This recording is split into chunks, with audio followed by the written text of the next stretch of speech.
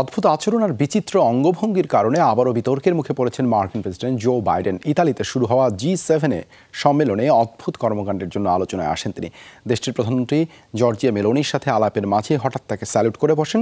সম্মেলনের প্রকাশিত আরেক ভিডিওতে দেখা যায়, জোটের অন্যান্য নেতারা ছবি তোলার জন্য একদিকে দাঁড়িয়ে থাকলেও বাইডেন হঠাৎই ঘুরে দাঁড়ান। এরপর একটু দূরে সরে গিয়ে অদ্ভুতভাবে হাসতে থাকেন।